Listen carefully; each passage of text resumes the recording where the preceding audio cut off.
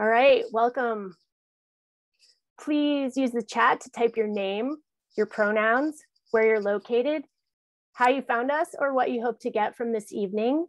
And don't worry, I know that was a lot, so we're gonna put that in the chat, actually.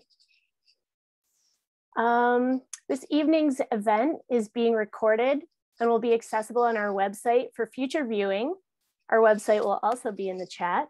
Thank you, Davide. Um, Zoom, Zoom's live transcription is enabled, so you can choose that down below if it would help you. And if there's anything else we can do to facilitate access for you, please email us at artistcommit at gmail.com. We'll also put that in the chat. Thank you so much for joining us this evening. Before we begin, I would like to acknowledge that I, like many of this evening's presenters, I'm speaking to you from the unceded ancestral territory of peoples who lived here for time immemorial, primarily the Lenape. Artist Commit recognizes the connections between the historical and ongoing forest removal, attempted erasure, and genocide of the original peoples and the climate crisis we face today. We honor the indigenous caretakers of these lands and waters, both the elders of the past, as well as the present and future generations to come. My name is Jessica Gass. I'm an artist, activist, elected official, and member of Artists Commit. I am located in Philadelphia, the home territory of the Lenni Lenape people. Now I'm going to pass you on to Davide Balula, my co-host.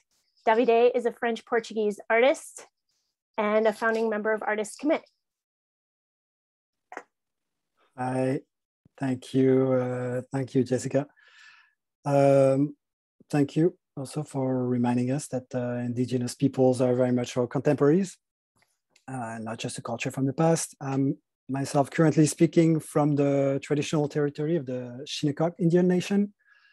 I'm speaking through Zoom like many people here. And I would like also like to remind us that uh, when we use the, the words like cloud and virtual space, we often forget about the about the land uh, behind it and the history and methods of extraction and, and displacement. Uh, thank you for taking the time uh, to, for this uh, acknowledgement uh, with us. On behalf of Artists Commit, we would like to welcome everyone. Thank you for joining this call. Uh, Jessica and I will be your hosts tonight. We will try to keep track of time and make sure that everything goes well, so please bear with us. Uh, also, if you have not done so already, you can support us by adding your name to our pledge and sign up to our newsletter. You'll have the link in the chat, I believe. Uh, and you can also follow us on Instagram. Uh, but maybe you are you are you are already. Quick word about Artist Commit before we dive into the climate impact report. That what uh, brings us tonight here. Uh, Jessica, do you wanna maybe present the Artist Commit briefly? Sure. Thank you, Davide. Artist Commit emerged in 2021 as a sister to the amorphous collective Galleries Commit. Both were born of the climate emergency and its intersectional racial, economic, and other labor and other structural injustices that require immediate and collective action. We seek to unite climate conscious action with information sharing and speaking out making conversations and considerations of our impact on the planet and on one another's standard within our studios and when engaging with colleagues, collaborators, vendors, clients, and institutions with whom we partner. So far, climate impact reports, what bring us together tonight, have been our favorite way to do so.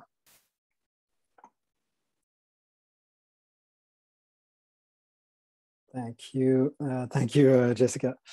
I, I assume that everyone here uh, is looking for ways to take action. Uh, many of us just don't really know where to start. So if that's your case, I think you've come to the right place. It's here. Welcome again, everybody.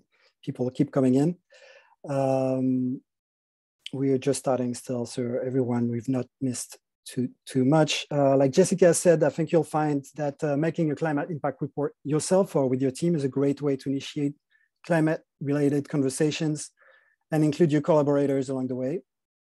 Uh, you'll see that it can infiltrate every step from budget planning, hiring people, every common topics uh, while making a project uh, from beginning to end. Also, I think you'll find after this uh, meeting today that uh, making a report is way less intimidating than it sounds.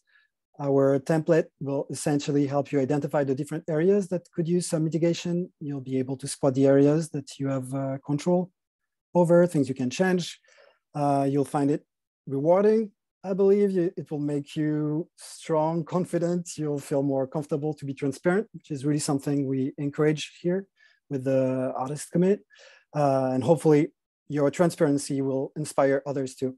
A big plus also that we find with those uh, climate impact reports, I think it's maybe to me like the most, uh, one of the most important thing is that you'll be able to use it to draft your own guidelines and like your own policy like for your own organization, really specifically tailored for you and your use.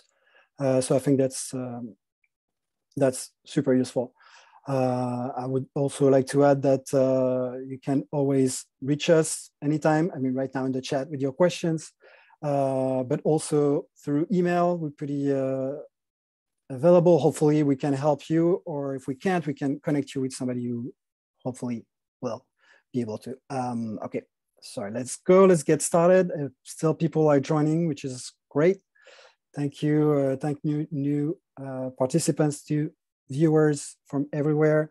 On the agenda today, so uh, quick, um, yeah, agenda. So we'll have a walkthrough pretty thorough by uh, Laura Lupton. Uh, she's a pro at making those reports. So I think like after the walkthrough, you'll feel super comfortable. I think you'll feel like you've made some yourselves already.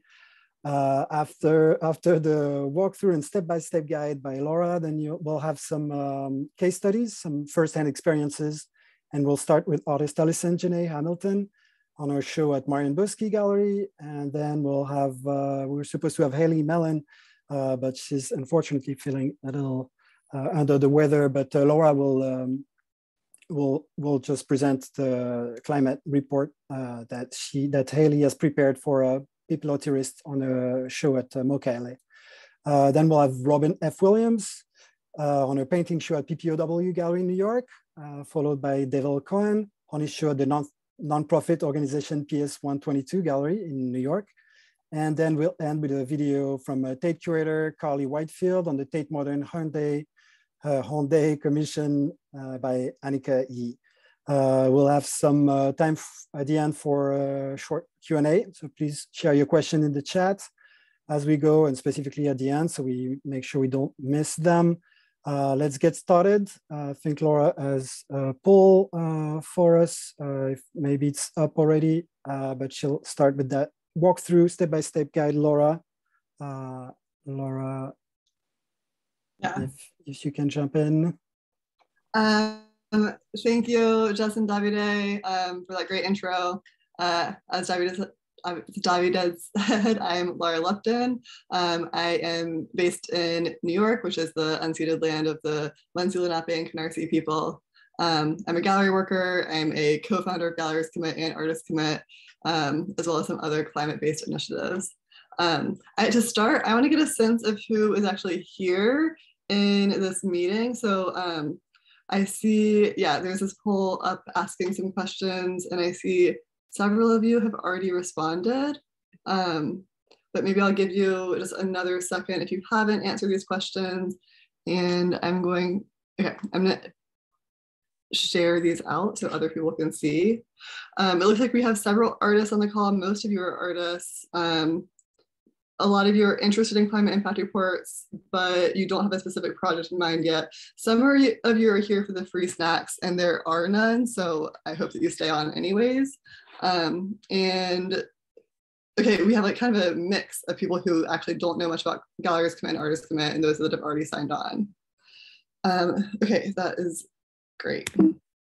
Um, I am going to talk a little bit about Artist Commit and the Climate Impact Report to give an overview and then try to do like a rundown um, to actually talk about how to do it so you can kick this off on your own.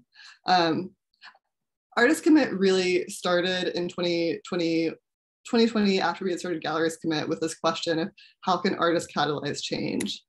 We with galleries commit we could see how strong the impact of an artist signing on to the galleries commit initiative could be for their gallery to also sign and simultaneously we started seeing galleries take action based on single artist exhibitions and they were choosing to do this with artists that they knew shared an interest in climate action.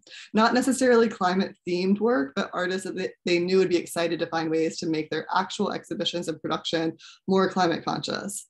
So this proved to be a really great space to experiment, to practice conversations, and to learn more about what does work and doesn't work for a specific gallery or artist needs. Um, so up on the screen are a couple of the galleries and artists that took action with Galleries Commit in 2021 that kind of led to this initiative all of that led us to thinking about how to leverage an artist exhibition as a catalyst for a presenting partner and artists to engage in a dialogue about the climate impact of their exhibition. Um, and this eventually evolved into the climate impact reports that we launched last fall. The first batch of reports were all artists that had been um, really involved in Artist Commit from the beginning. They reflect a range of both spaces and artistic practices, some of these were artist initiated, others were space initiated. They focused on different areas of the project in varying depth um, based on both the capacity and the interests of the project team that was working on. However, a common thread for all of these is that they were dialogue driven and deeply, deeply collaborative. Working on them in tandem was great um, because we were all able to support each other with questions, help build templates together, and share lessons about what was working or how we were approaching different areas of the report. Um, the group of us, we all eventually decided to use a similar template and how we approach them. And you'll see that reflected in the reports that are on the website so far. Um, but this template isn't necessarily something that is meant to be didactic or that you have to follow. It can be responsive to what people working on a report are most interested in doing. Um, the process of producing, uh, switching back to this page, um, the process of producing reports is mainly really intended to provide a framework for a dialogue and to promote a practice of transparency and information sharing, uh, both within the project team itself as well as sharing with the art sector at large. A report can be entirely artist generated. It can fit into broader existing climate initiatives that an institution may be doing, um, or it can serve as a kind of like a testing ground for some of the actions that a space or an artist are thinking about exploring. Um, they want a space to experiment to see what works on a smaller scale. So the climate impact reports are really designed to allow for flexibility and to adapt to each project needs. Um, that said, ideally a report does address four core action areas cutting emissions, eliminating waste, supporting people, and promoting collective action. For anyone that's familiar with Galleries Commit, you'll recognize these as the same four core action areas from the Gallery Climate Action Plan. So the full plan and the Climate Impact Report complement each other really well um, because you can use the exhibition model to become familiar with the action areas, to start conversations with your team, and to explore which actions are relevant, attainable, or inspiring for your team. And ideally, that can then lead to more ambitious, um, a more complete climate action plan that can be attributed more holistically across the gallery institution or the artist studio down the line. Um, you can also find, I, am going to go through a lot of information today, so I just want to know, you to know that you can also find this info on our website at artistcommit.com slash reports. There's a how-to page, and we will also have this presentation available there after this with a recording, um, and maybe even a link to the slide so you can follow through that way. Um, that said, I'm going to go through and try to do as much as I can to get through this in a somewhat quick quick way. We'll see how it goes. um, as part of a climate impact report, cut emissions.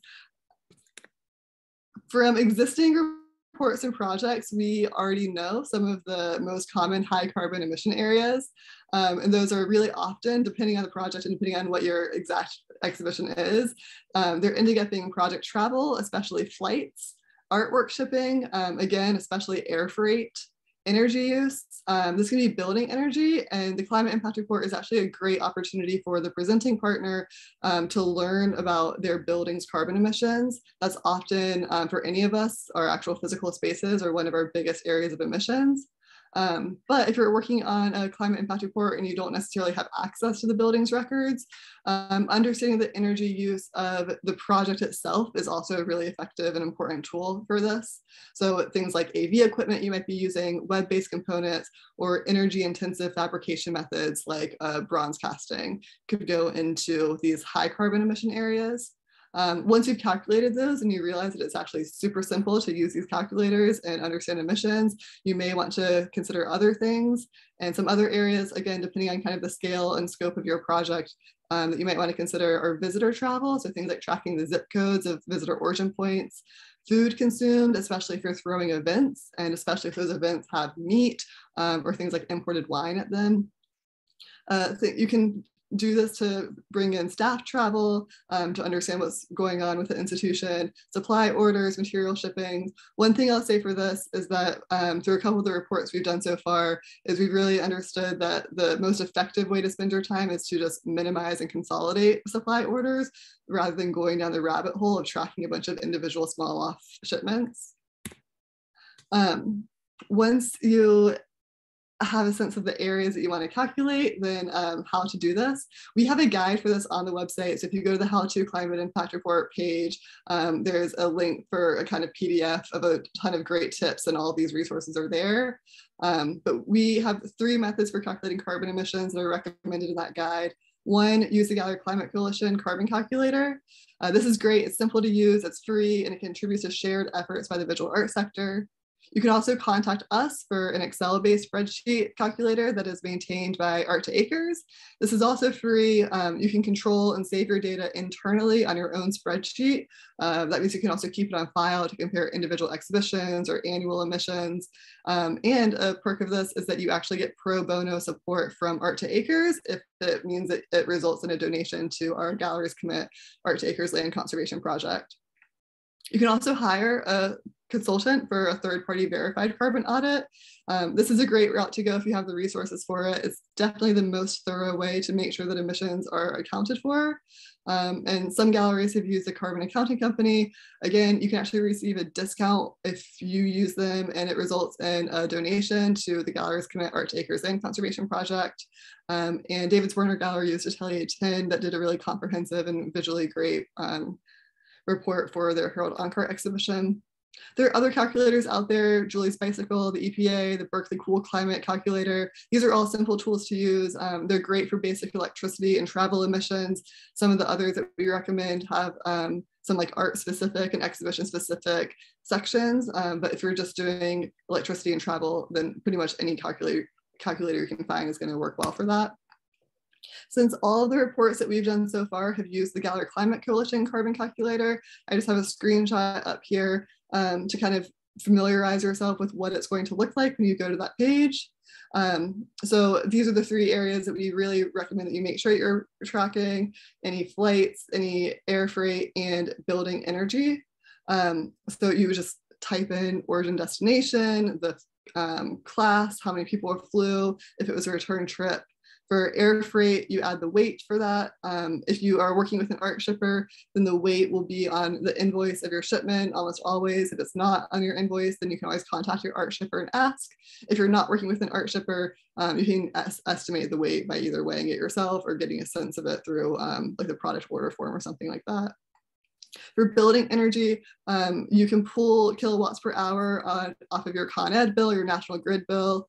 Um, the example we have on the screen right now is from the Geffen, which is where the Pipilotti Rist MoCA exhibition was. And they pulled in their electricity use and their piped gas use from their um, utility bills. They said that the Pipilotti Rist exhibition was taking up about 45% of the total building. So they attributed 45% of that total carbon emissions to her project, um, and then the rest of it to other areas of the museum if you aren't doing building energy, but you're doing things like tracking wattage of equipment that you're using, then again, product tech sheets will have the wattage. Um, you can Google the conversion of wattage to kilowatts per hour, and then estimate that your exhibition is going to be open for 30 days for eight hours a day, um, and kind of do that calculation to get what those kilowatts per hour would be for electricity use. Of course, the point for carbon is to reduce it, not just to calculate it. Um, so I wanted to share a couple of ideas for reducing carbon in those three major areas. Um, one opt for zero carbon options for travel, opt for trains over flights, avoid extraneous flights as much as possible. But when you are taking a flight, opt for direct routes, um, avoid first class and minimize luggage. For shipping, um, ask your vendor to, for zero or low carbon freight options. Even if they can't provide them to you, the more we start asking that question, the more there's a sense of demand and people expect um, that they need to be providing that. Um, consolidated shuttles, better than exclusive trucks. Rail freight, better than trucks. Sea freight, better than air freight. Um, consolidate works, use reusable crates, reduce the weight of crates, and ask your insurance provider to cover sea freight. Um, again, the more that we ask that, the greater the demand is, and the more that becomes a standard practice that's provided. Um, and then for electricity, uh, if you're at an institution, consider adopting the Bizot group climate standards. These are kind of relaxed climate control standards for loaned work so that you don't have to use quite as much energy intensive resources to keep a gallery freezing cold to protect the work. Still, conservators agree it's still super safe for the work, um, but just allows us to be a little bit more climate efficient and using green energy sources. A couple of artists have actually been able to introduce green energy like solar panels to an institution on the occasion of an exhibition that then stay there permanently and are available for the institution to use into the future. Um, that's great and a super great idea to be able to uh, slide in some long-term change to practices through an artist exhibition model. Um, okay, to eliminate waste, I just have a slide here that says plan ahead. That's all it says. The number one way to eliminate waste is to plan ahead. Haste makes waste. We've heard that always. Um, plan ahead, it both eliminates preventable waste and it also gives yourself time um, to make a plan for the destination of waste that could have an afterlife if properly accounted for, um, but can sometimes just get dumped on the street because it's the last minute and you got to get things out of the space. For the climate impact report, when you do this, um, we're focusing on waste transparency. So it's looking at your own material and what happens to it and then being transparent about what is happening with it. So on the screen, I have an example of an upcoming report that we haven't posted yet for a Hauser and Wirth exhibition that should be released next week. Um, and they categorized waste for their show with uh, reuse, repurpose, storage, refuse, recycle. So is it going to be reused for the same purpose as the original use? Is it going to be repurposed um, to be kept or sold or donated, but used for something different in the future? Is it going to storage? We have a special category for storage because I think we all know that things end up going to storage facilities without an intentional plan for long-term reuse, and they can sit there for decades, years, and are absorbing infrastructure and energy use there. So being transparent if that's happening helps us plan ahead for it in better ways. Um, refuse is a great one that is tied to planning ahead, um, you realize by planning ahead that it's actually not necessary and there's a more efficient way of, of addressing whatever that need was. We have um, a couple resources. The idea for making a material afterlife plan, it actually came from the artist Madeline Hollander on one of the events that we hosted last year. She does it for all of her exhibitions. Um, we have a Google Sheet template that you can use. It's available on artistcommit.com. Um, this in this version, you input all of your materials, track the destination, make notes. Additional sustainability concerns might be something like it's toxic waste or non-biodegradable or requires special disposal. Um, I actually, when I do this, I don't use the spreadsheet. I use my budget, my project budget. Um, so all the things that I'm ordering for a project, it has a cost associated with it. So I already have a spreadsheet that itemizes all those items. I translate that into a waste report, um, make a new column for where it's going after, and I use that directly um, based on the budget in Excel that I've already been working on. Um, Galleries Commit and Artists Commit, we have what's called the Climate Action Database. You can find that under resources um, on the site. I just have a screenshot of the Climate Action Database and some of the resources that are tagged with material on the screen. Um, go there, find support for how you can use, have like smart material use. I will go through a couple of these that we have that um, I think are particularly useful. Uh, Barter.art is a material reuse platform for the art world where you can post things like AV equipment, crates, pedestals, art supplies um, to pr promote circular material reuse within our sector. If you plan ahead, you can make these posts in advance and start like going ahead and trying to find future homes where other people in the art sector who might need similar material can reuse that for free. The Ki Culture Waste and Material Kibook, I just have a screenshot of the table of contents so you can get a sense of some of the really great information that you can find from this peer review document that they've created about alternatives for gloves or materials or packing materials. Um, great information there if you want to take a look. The sustainability, sustainability tools and cultural heritage carbon material calculator. Um, this is a super interesting tool that's still in development, but you can go there and say um, you're thinking about packing at work and you're wondering if it's um, the most carbon efficient to pack it, wrapping it in bubble wrap or ethafoam, which are often industry standards for us, but you're like, maybe I want to wrap it in fabric. Um, is that going to be better? And you can see um, cotton fabric or muslin, definitely better than bubble wrap and ethafoam. Nylon fabric, actually higher carbon emissions than ethafoam. So you can kind of directly um, compare different materials and make responsible decisions through this calculator. Um, what is part of a climate impact report is supporting people. Uh, one of the main things I'm going to talk about for this is actually why is this a part of the climate impact report? Uh, reports are created by people on your project team. The Getty Institute is actually doing some super interesting research on how individuals working on projects all share an interest in climate action, but one of the number one obstacles is not feeling support or permission to take action.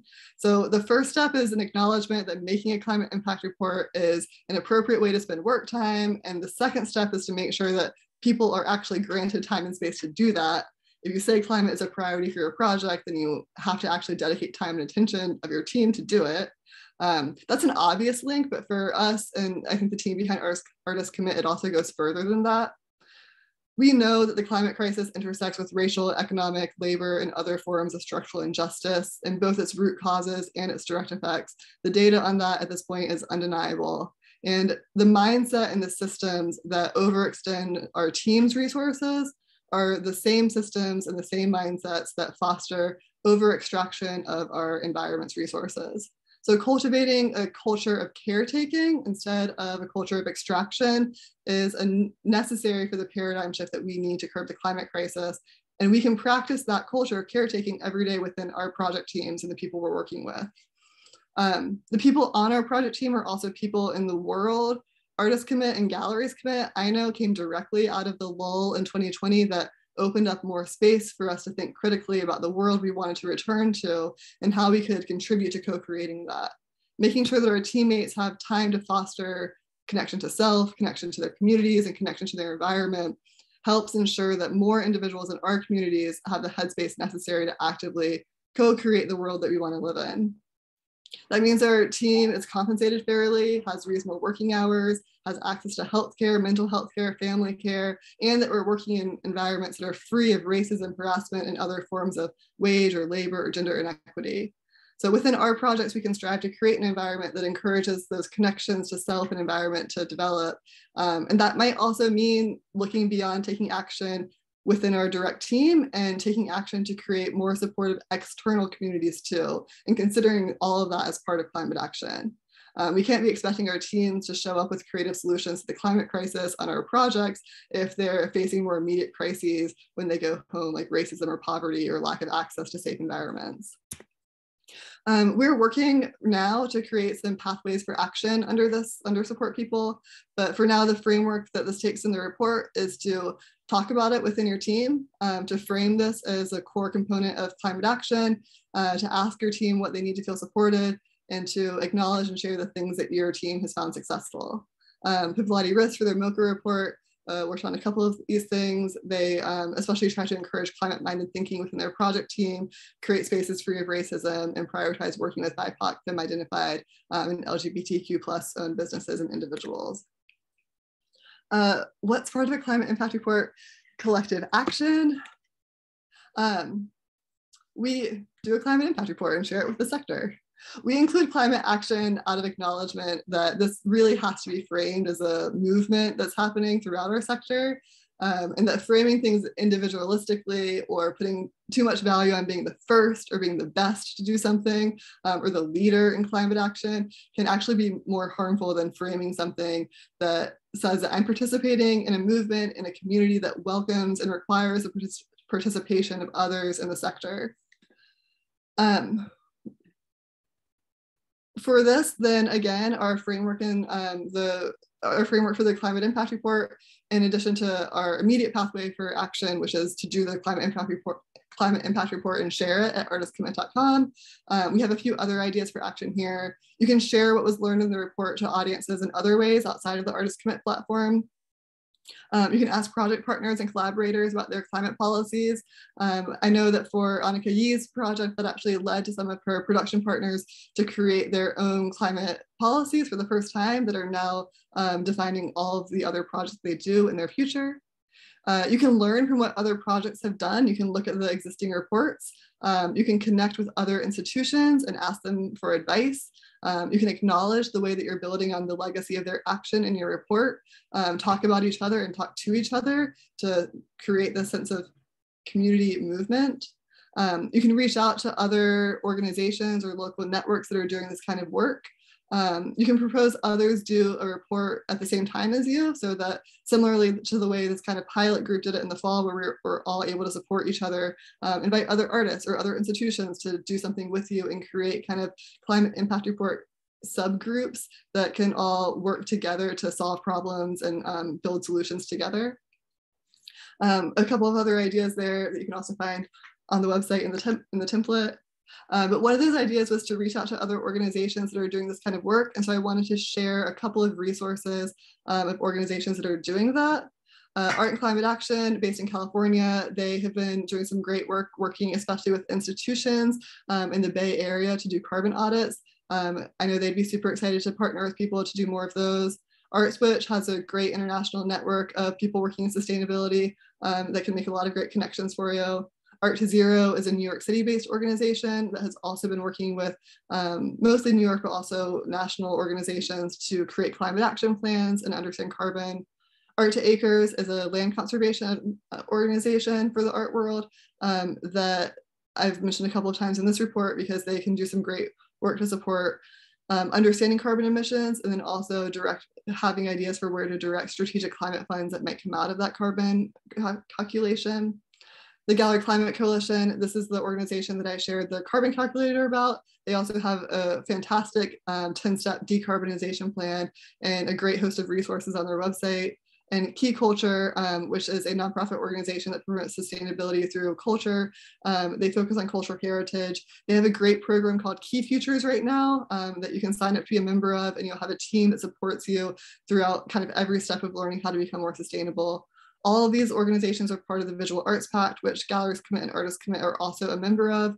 We're all aligned on uh, missions and goals, and so we can really work together to build a climate impact report while also partnering with all the resources that they provide. Um, and then I will also say that for all of the reports done so far, the teams involved, so the people you'll hear from tonight and the people, um, other people who worked with them, have committed to being available to mentor or advise others that are interested in doing reports. So if you want to do one and you have a question about how someone else addressed a certain category, um, or if you just want more of a mentor or support system in the process, you can identify who worked on the reports mostly in the credits on the, each of these pages. It will say the climate impact report was prepared by so-and-so. Um, reach out directly, ask them questions, ask for advice. I think they would be super excited to feel like the work they did is having a resonance and an impact and be happy to support others. Um, you can also contact us directly at artistcommit at gmail.com um, and we can either support you directly or connect you with the right people. If you are working on a climate impact report, um, let us know. Send us an email at artistcommit at gmail.com. Once you're done with that report, feel free to send it to us and share it with us so that we can help get it out there and other people can learn from the work that you've done.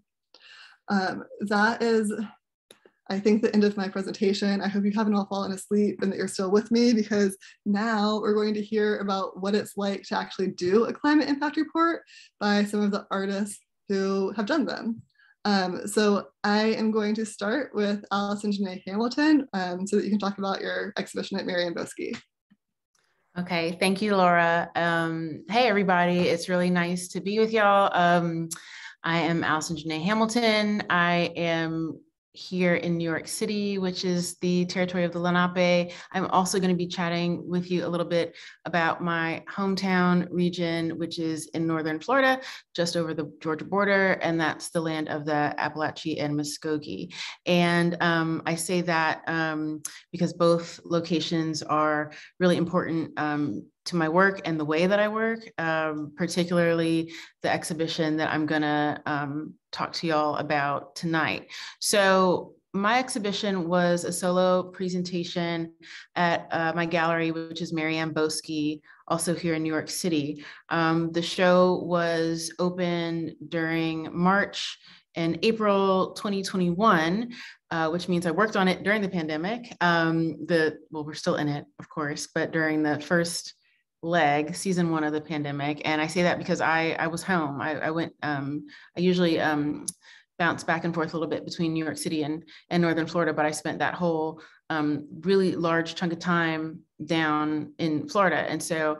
Um, in terms of our climate report, uh, that means that a lot shifted in in terms of what I thought was going to be the emphasis. Um, shipping, things like that ended up being much more of a focus and an element that I thought. Um, here in New York City, my studio is literally right around the corner from the gallery. So I didn't think that was going to be much of an impact, but it was. And so um, that has prompted me to think um, more regionally in terms of when and where I'm working and how that might impact future future reports. Um, like Laura mentioned, uh, we did the exhibition kind of early on in this um, kind of process and the formation of this coalition. The gallery really just, and, and I just kind of collaborated from the beginning um, on this as kind of a, um, an experiment. The gallery has been really committed um, they have like a climate committee and it has really been committed to, to, to the issue for a while. And so my exhibition was the first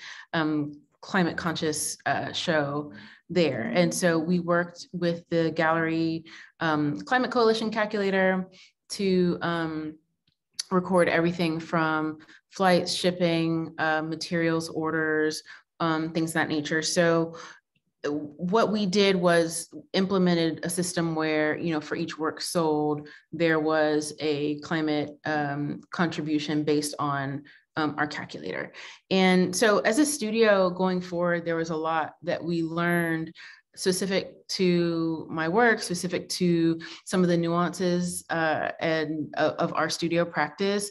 And so I would say to any artists who are out there who are interested in doing um, these reports, which I hope is everyone here, I would I would say to really think about the way you work and any particulars or any nuances that are part of your specific um, practice. For example, um, some of our vendors, this is something that we are kind of going to, in this next kind of quarter, think about as a studio. Some of our vendors already, our materials, um, already do a, like a climate um, offset. So how to calculate something that's already had kind of one layer of an offset, um, and that's um, specific to some of the people that we work with.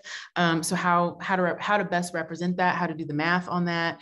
Um, so those are that's one of the things that we're kind of bringing back into our own kind of studio huddle as we've done this first project with the gallery. But we'd like to continue this, of course, you know, working with other types of institutions, museums, what have you. So we have to kind of implement some things that are gonna um, be able to be sustainable going forward based on our practice.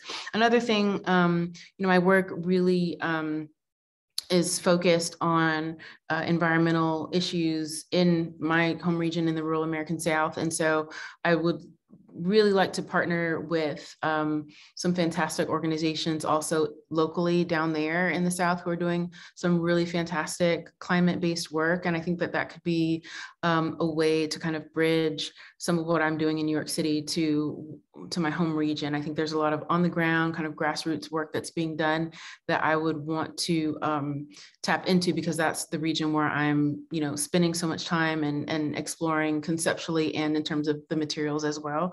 Um, and you know, another thing that was kind of interesting in terms of being at home during the first part of the pandemic rather than in New York City was just particulars of, you know, for example, my studio in, in Florida is a work from home space. So it's kind of like this um, kind of garage studio space, whereas here it's a normal kind of regular studio. So how does that, you know, come into play regarding um, um, building, you know, if, if we want to like really get into the nitty gritty of um, thinking about building emissions and things like that. I mean, when I'm in Florida, it's literally like a hot garage with the door open and like a fan. So it's like, it's very different from um, my setup in New York City. So how to account for the different types of working, very different types of workspaces um, from when I'm kind of in a more rural area versus when I'm here in the city.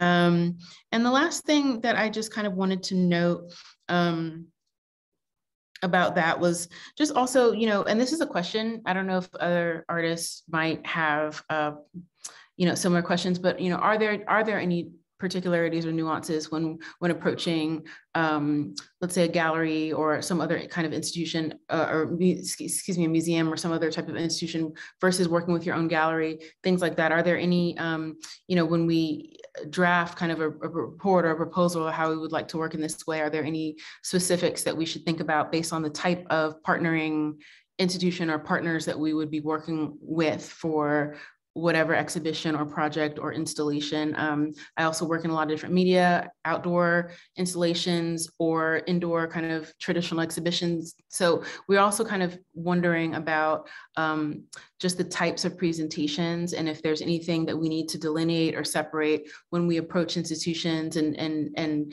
say, hey, this is you know this these types of reports. This is you know our first model um, how would we translate that to maybe an outdoor or, or a different type of, of, of a project? So all that is to say, I think, you know, really looking at your own practice, looking at the types of um, the types of projects you have coming up, which you know what is sustainable for you long term, what makes sense in the, in your next quarter, in your next twelve months, um, and and what is doable, and and you know also just not. I, I think it's it's also important to say not feeling the pressure to do everything right at right now the first you know your first project like you know for me i think stair stepping it is also good because it kind of to me really builds that infrastructure of your studio practice um, rather than kind of throwing everything into one project. I think building and building and then you know kind of a goal quarter by quarter or however you want to think about your year i think is really good a good way to kind of um, bring in one part of the practice bring in another part of the practice um, and really solidify that and really get that going in a, in a concretized kind of way i think um, feels important. At least at least that's the type of conversations we're having um, at the studio so um, if anyone wants to reach out or has any questions um, about the show that we did or anything else going forward i'm happy happy uh, to chat more. And it's it's really good to see everybody. It's to see so many people people here uh, for this really important issue. So. Um, thank you, Allison. I'm back. I'm Haley Mellon from the MoCA Environmental Council, who is also a painter based in California, was going to talk about the Pipilotti Rist exhibition. Um, since she ended up unfortunately being sick, I'm going to share the report and give a couple of notes that she shared with us. Um, so this report was actually initiated not by the artist, but by the museum. Um, they had already created the Environmental Council and they had broader existing initiatives that the Environmental Council was working on. Um, so this became part of other things that they were doing. Uh, it was deeply collaborative. And I think one of the interesting things about this report is just to um, highlight, and maybe in response to something Allison said, some of the people that had to work on it or that got to work on it. Um, the carbon emissions metrics were prepared by Meredith Gray, who's their Director of Registration and Collections, and Jill Davis, the Senior Director of Exhibition and Collections. Um, the waste metrics were prepared by Patrick Weber, the MoCA's and Operations Director the climate impact report itself, it was like written and compiled um, by Haley Mellon, who is part of the MoCA Environmental Council. It was then audited by Simone Paz, who is their sustainability consultant. Um, and then after all of that, it was reviewed by Hauser and Wirth, the gallery, as well as Pipilotti Rist Studio directly. Uh, had already created the Environmental Council and they already had started making commitments to climate action, but doing the report was the first time they'd actually been asked to sit down and make a climate policy. Um, it also led the artist studio, Pipilotti Rist Studio, to create their very first climate policy. One of the most impactful areas of the report um, that they shared was actually the waste report. Um, they say that this really helped them engage waste and better practices um, and the entire report will be a framework that they use for future exhibitions.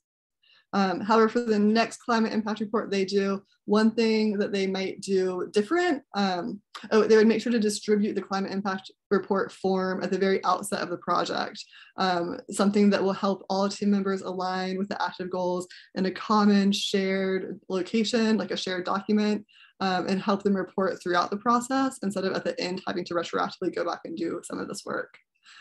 Um, I maybe that was interesting seeing what the report looks like on the website and some of these great install shots. Um, I'm going to pass off to Robin F. Williams, who is a Brooklyn-based painter and one of the fellow founding members of Artist Commit. Hi, thank you, Laura. Um, as you mentioned, I am based in Brooklyn, which is traditional territory of the Canarsie people.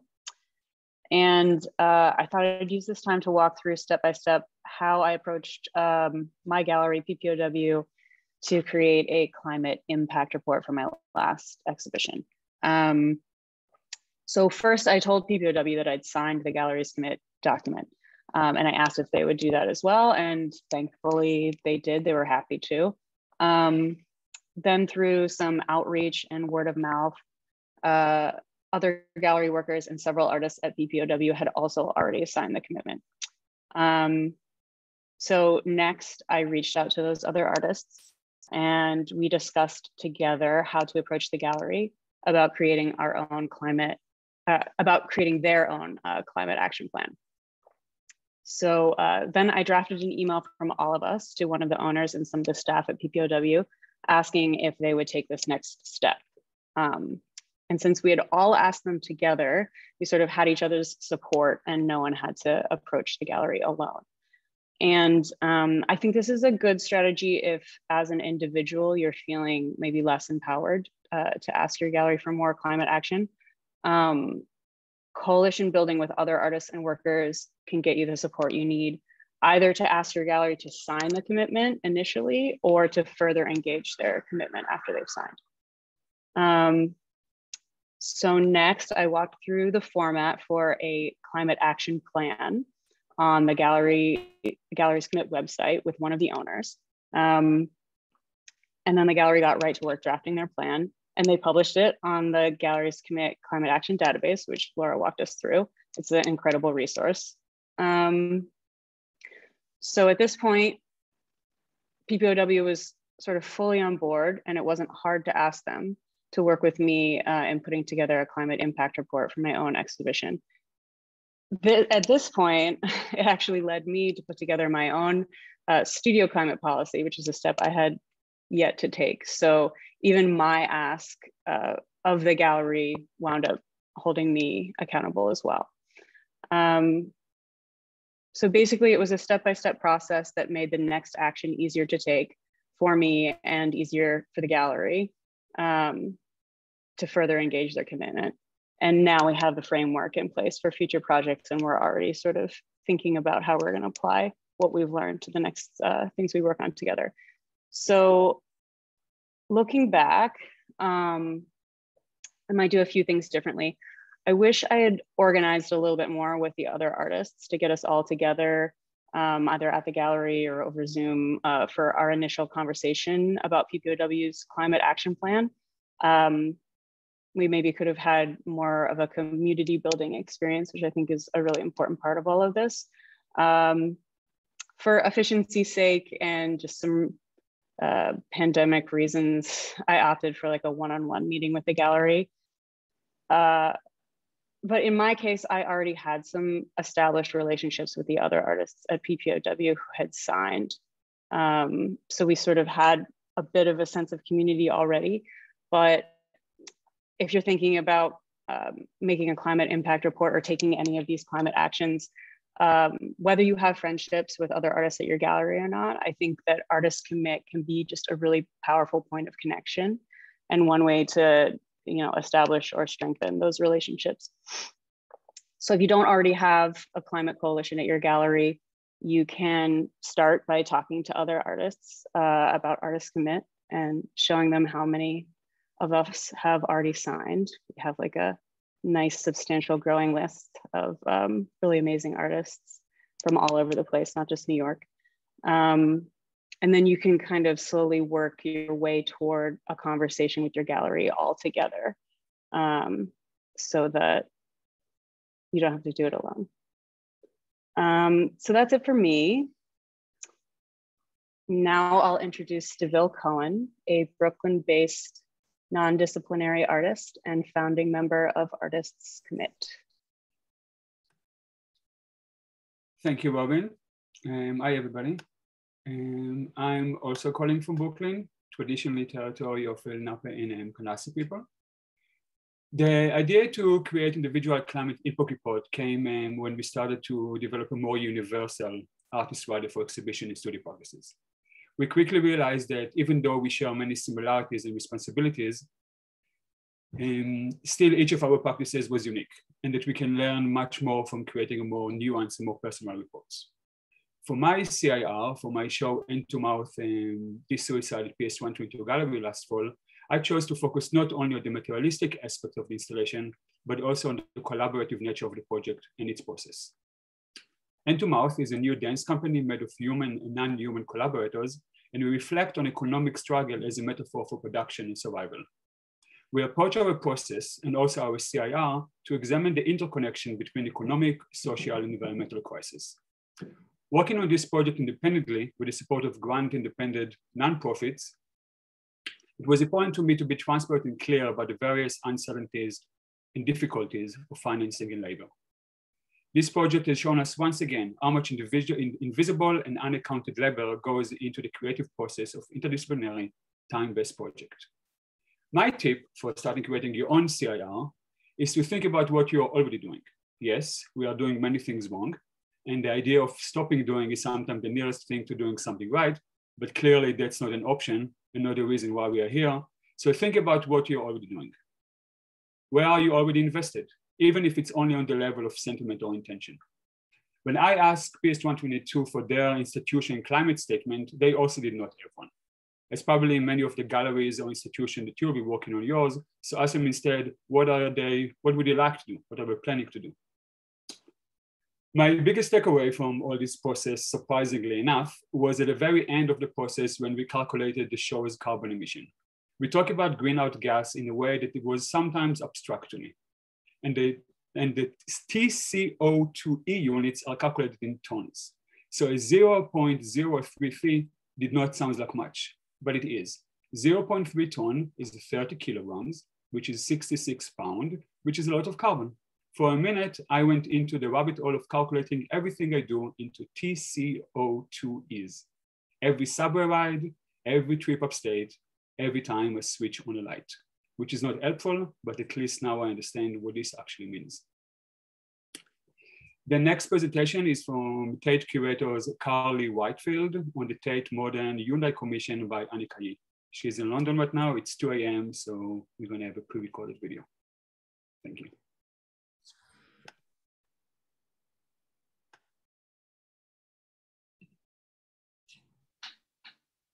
Hello, everyone. My name is Carly Whitefield, and I work as Assistant Curator of International Art at Tate Modern. And I had the great pleasure of working as one of the curators on Anicka Yi's Hyundai Commission in Turbine Hall. Carbon impact assessment was really important to the Anicka Yi studio and to Laura Lupton, Director of Special Projects at Gladstone Gallery, who together proposed publishing a report to Tate as part of this project. The proposal came roughly two years after Tate undertook a full emissions assessment and declared climate and ecological emergency. So there was certainly alignment in highlighting the importance of examining our processes. But I'd note that for any institution of Tate's size, there's often a question of consistency that might come up and I'm very glad that it was felt that there's space for teams shaping a project to decide if, where, and how thoughts on climate impact might be included. On Tate's side, the curatorial senior management team, Tate's environment and resources manager, and our press department were all consulted on the report, and I think that we're all very happy to have it to now add to the models that we use for sharing data and decisions and learnings which has taken a number of different forms at Tate, such as wall labels that acknowledge efforts made to reduce carbon. Looking at the data, it's unsurprising that the great majority of the carbon was generated through flights And I think had this project not taken place during the COVID-19 pandemic, we all know that figure would have been even higher. But what was more surprising was the number of elements that are just too dependent on offsite energy to be able to calculate. Uh, and in particular to this project, that was external servers. So laying out what could and couldn't be calculated and why became really crucial to the study. And you'll see that in its final form, there's a lot more text than there are figures, and there's no total sum that's been shared. In future, I think it's really important to set the scope of the reporting as early as possible in the process so that suppliers and collaborators can agree on a reasonable amount of information to be reported and so that this can be tracked from the get-go. I also think that the waste report is really useful matrix for project planning, and it allows for agreements on the future lives of materials to be made early on, and also in terms of which party makes a purchase with a view to reuse or, or repurposing. I'm really grateful to have had this first experience in impact reporting and thank Artist Commit for this opportunity to share it.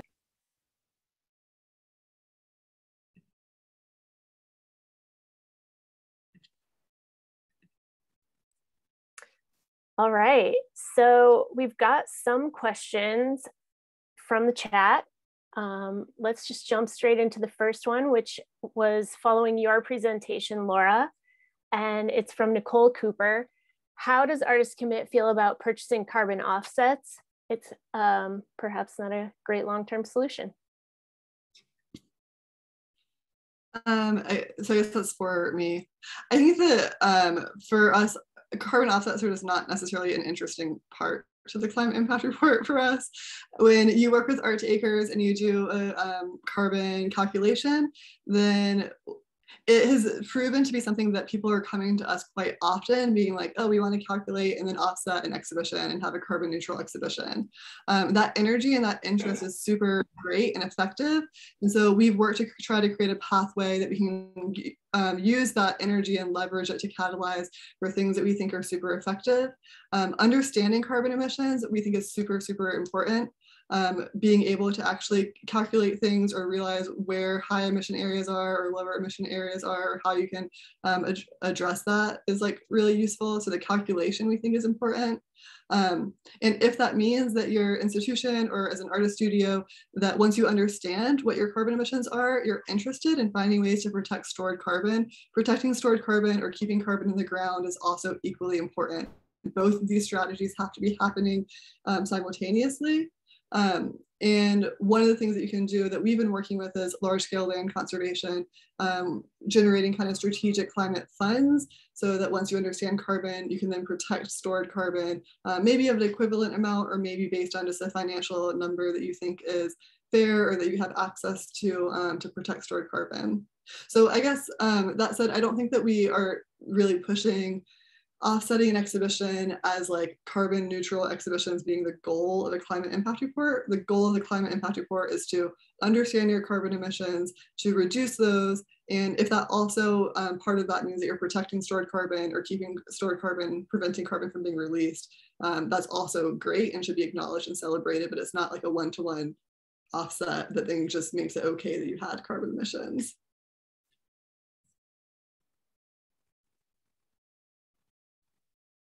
Thank you, Laura.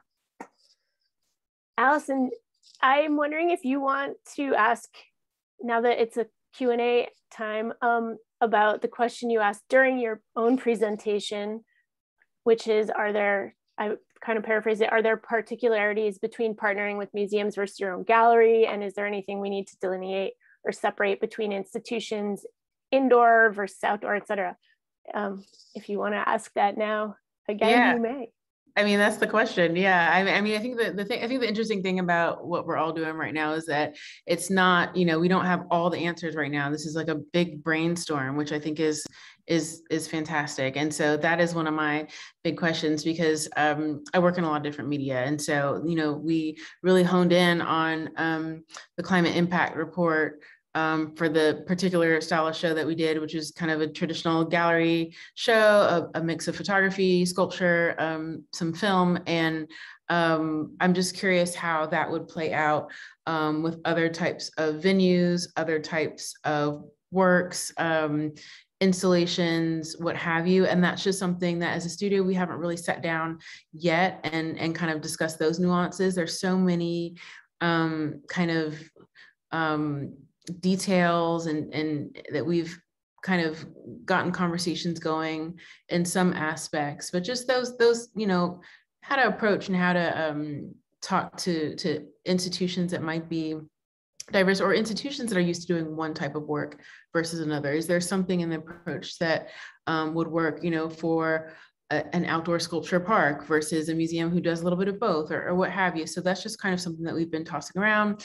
Is there something in a proposal that we need to offer um, ahead of time? And those are just kind of things that we've been kind of spitballing um, as a studio um, as we kind of think about our goals um, uh, for 2022 in terms of, of our climate impact reports to come.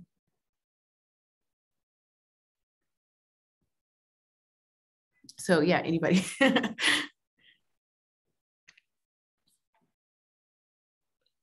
um, Deville, I can talk about that for, I guess, Tate and um, MoCA, but maybe you want to talk about, because you, you approach PS 122 directly. Yes, I was already working with them on this project and on the show. So, because the project and the show started before the pandemic, and I used the studio, the gallery as a studio during the pandemic. So, as our work developed, developing this um, climate impact report, I was already working with them. So, I took them step by step as we were developing our approach and our concept of how to do this. And they were um, very supportive of the project altogether and therefore they were also very supportive when I asked them to part, partner with me in creating the, the report. Was it more of like a conversation or was did you have like a formalized kind of proposal, like a written thing, or was it more kind of like a conversation? I'm kind of wondering, it might, I, mean, I think it might be helpful for people to, to um, kind of think about how formalized they they want to get or you know that might be more you know more or less intimidating for people to do it one way or another. I'm kind of curious about like your approach too for for a larger institution rather than a gallery.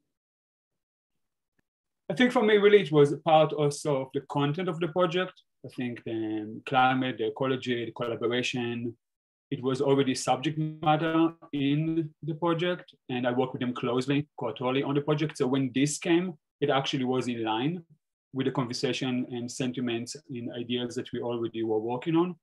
So it didn't really require an outside of the path that we were already going to. So I think that was a way that, yeah, I think there was something very organic in my subject matter and the relationship that I established with the institution parallel to creating the process with an artist community. That makes sense. Yeah, thank you. Yeah, I can talk a little bit about um, maybe for the Tate project with Anicka Yi. And one thing I'll say about that is I think that the reason, a huge reason why that report even happened was because of COVID-19 and the production of that project was delayed by a year for the opening. So the amount of time that we had to kind of allow this type of conversation to develop had expanded. Um, and also a result of that extended production timeline, the relationships within the project team had become a lot stronger. Like we just knew each other really well. We had gone through a pandemic together. We had seen each other's homes and had a different, I think, level of connection. So it was easy to have conversations emerge outside of that. Um, another reason why I think a part of a climate action plan is supporting your team, like having teams that feel connected to each other, um, then are more interested, I think, in having conversations that maybe push these conversations and actions farther. Um, but one strategy that I think made that work with Tate to um, actually create the like follow through on the report was having a lot of flexibility on what was reported and what we focused on and choosing to celebrate and focus on the things that our team did have the capacity to work on and not being overly didactic about like requirements of certain things that you had to hit or figure out. Um, but really being like we're all doing the best that we can. We're figuring this out what can we like pull from the energy and support that the project team has and just like focus on those areas instead of getting too too overly didactic or bogged down on things that are just like we all have a lot going on and there's only so much that we can do on a, any given project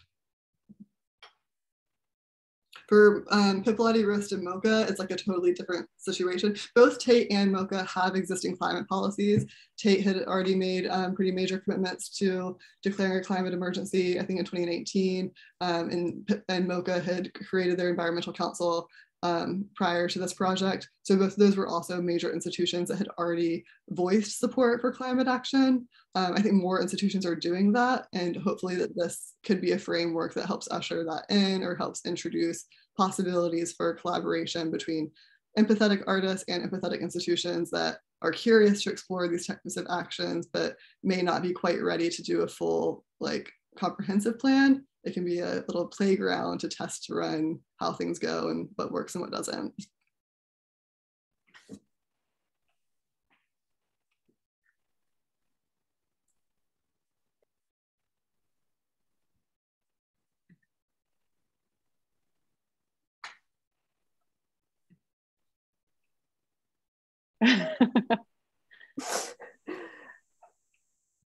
I think we should move on to another question. Um, but I know that more of us will be really happy to talk about this with you one on one as much as you want in the future, Allison. And I appreciate you bringing this question. Um, Annabelle Keenan had a question following your presentation, Allison, which was Are there particularity? No, wait, that's your question. Um, have any of the climate impact reports focused on art fairs? Would and that it would be interesting to see a gallery do a climate impact report on one of their fairs. That's the question. Um, I can speak to this a little bit. We haven't, as far as I know, we haven't done one yet. Um, it's a goal of mine uh, to do that coming up in the future. And I've already sort of um, started to talk to my gallery about um, a plan for um, Frieze Seoul. Um, and because we've already done uh, the climate impact report for my last exhibition, um, we're like the beginning of the process of this booth um, comes with like that intention. So um, the subject matter of the work, uh, the application, um, and the, the execution of the booth are all gonna kind of have this uh, in mind. And hopefully we can start a little bit of a dialogue at the fair. We're hoping we can get the fair to um, participate in some programming around this, but uh, we still have to get into the fair. So that's, uh, that's the first step. But I have a personal intention to um, go in that direction. And I think there I would love to um, sort of apply all of the climate actions that we've been doing in this group and point them towards art fairs. It's that was sort of one of my initial impulses to um, be involved in activism in the art world. But um, at this point, we're kind of we've been doing some really important, laying some groundwork, and hopefully uh, someday we can uh, really start to make systematic change at art fairs. That's um, definitely part of my personal goal in this work.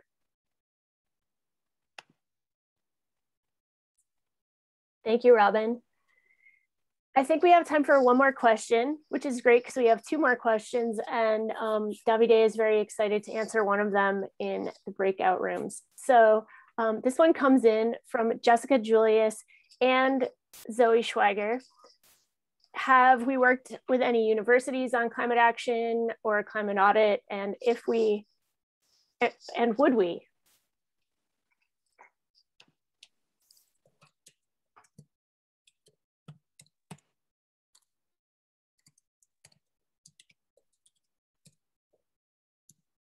Jess, do you want to answer that one? Me? We have not. Am I right? Yeah, we we would. We would do these with anybody. We will do these with anybody. Anyone who wants to think about the climate and supporting people and making this a better world for longer, we will work with you. That's what I would say.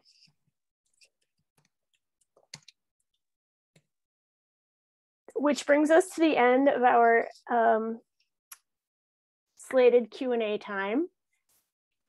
However, if you feel like you have not had enough time with one, at least one of these artists who has shared with us, we have some breakout rooms where unfortunately we cannot share any, oh wait, no, Davide, you have things to say, don't you? I have plenty of things to say, but the time is, I mean, we're pretty uh, like over, over time. Um, I don't know, we have the possibility of doing breakout rooms. I don't know if that's something we should, or you guys interested in doing. And when I say you guys, I'm talking about the audience here. I think like uh, speakers here would be welcome to uh, have a one-on-one -on -one with you if you're interested. Um, I don't know, I can, um, I, I can close. I don't know what's what's the what's the take on the situation. We we are past our time, but how is everyone feeling?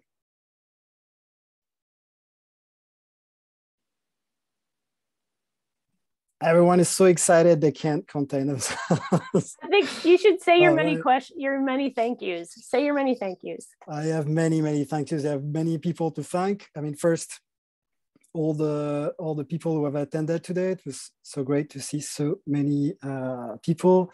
We had the we had some good questions. I think also the the report, and you'll see on the on the templates addresses a lot of them. If you just go back and and and look at them and just scroll through, I think it will answer a lot of integration interrogations, and especially for the the ones I think that was one that kept coming was how flexible the reports are and how you can adapt it to. Uh, which we, we mentioned here, but I, I think that was also like a very, uh, a very interesting uh, point and, and reminder that we, we constantly evolving, we're all constantly learning.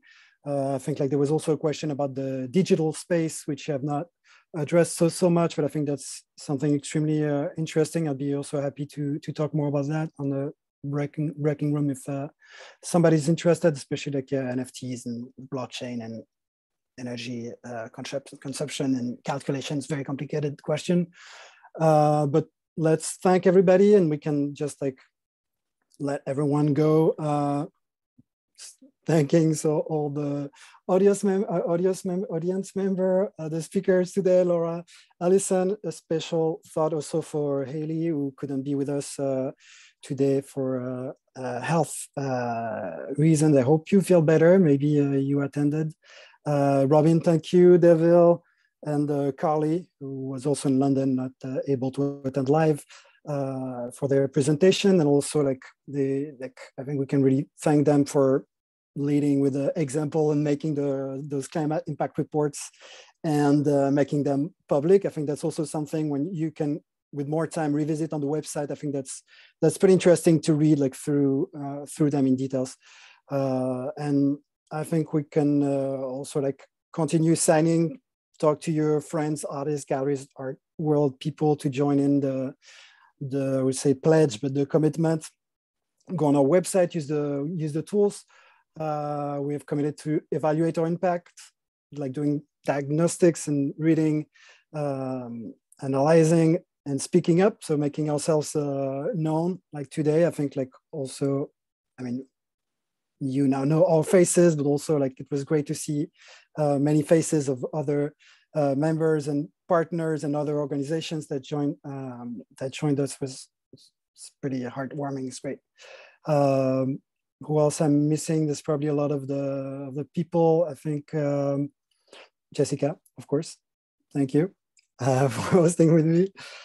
Uh, thank you, yeah, for the partners.